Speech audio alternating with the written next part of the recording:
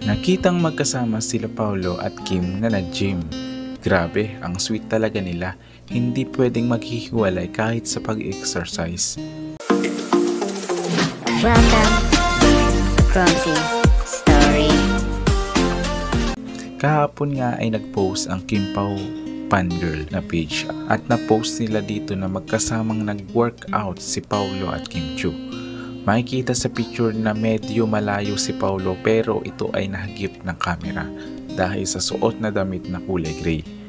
Masaya ang fans na makita silang magkasama na nagsusuportahan para mas mapaganda ang kanilang katawan at mapantiling healthy sila.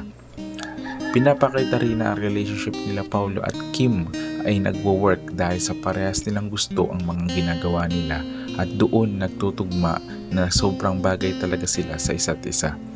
Kaya nga sabi nila, grabe, iba na ito, parang totoo na talaga na may relasyon. Kasi di nangingimi si Kimi.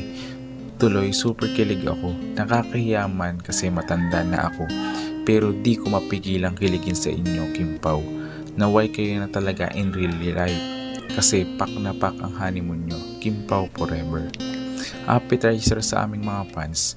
Di mabubuo ang mga araw pag di napapanood ang kanilang ganap. Sobrang pampatanggal stress at pagod.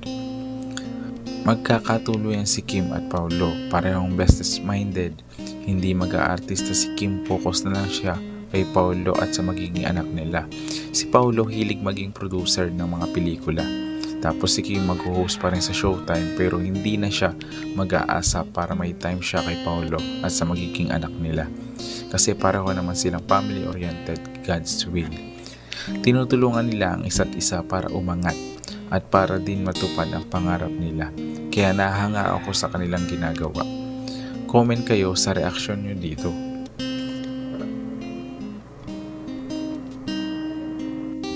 Halina't mag-like, share, and subscribe. Thank you.